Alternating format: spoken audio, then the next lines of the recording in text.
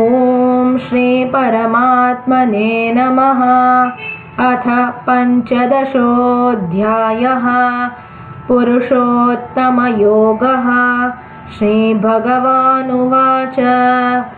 ऊर्ध्वमूलमदशाखम् अश्वत्थं प्राहुरव्ययम् छन्दांसि यस्य पर्णानि यस्तं वेद स वेदवित् अधश्चोर्ध्वं प्रसृतास्तस्य शाखा गुणप्रवृद्धा विषयप्रवालाः।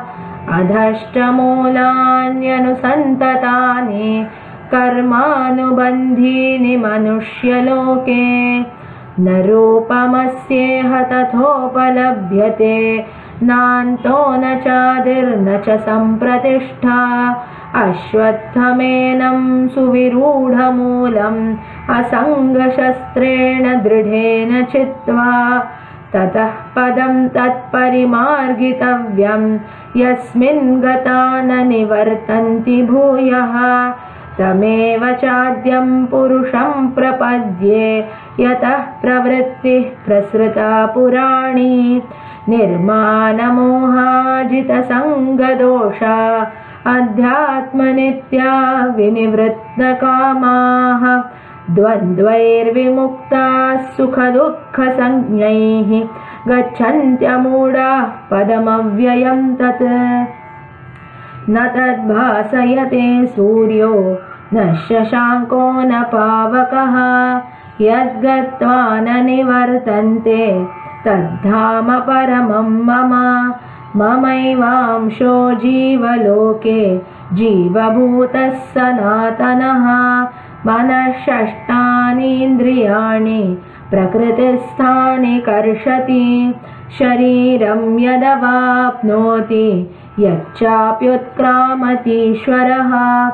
गृहीत्वैतानि संयाति वायुर्गन्धानि वाशयात् श्रोत्रं चक्षुस्पर्शनं च रसनं घ्राणमेव च अधिष्ठाय मनश्चायं विषयान् उपसेवते उत्क्रामन्तं स्थितं वापि भुञ्जानं वा गुणान्वितं विमूढानानुपश्यन्ति पश्यन्ति ज्ञानचक्षुषः यतन्तो योगिनश्चैनं पश्यन्त्यात्मन्यवस्थितं।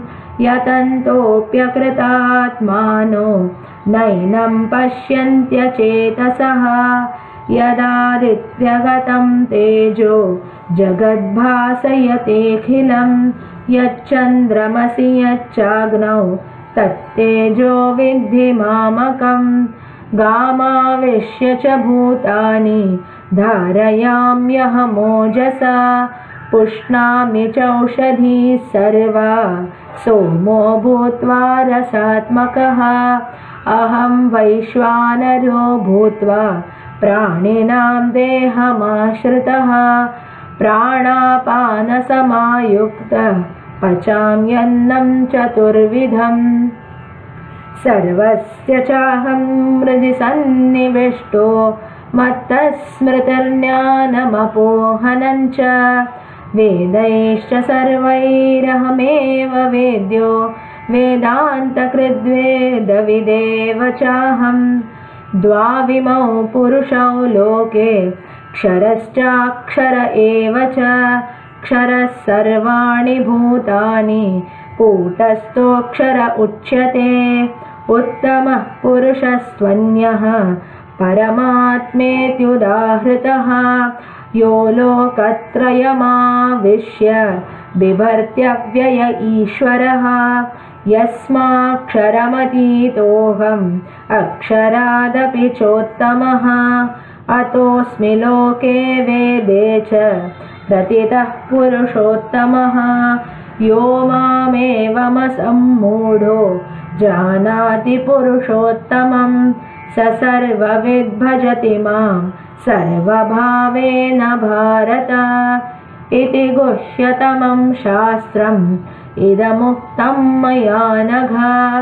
एतद्बुद्ध्वा बुद्धिमान् स्यात् कृतकृत्यश्च भारत।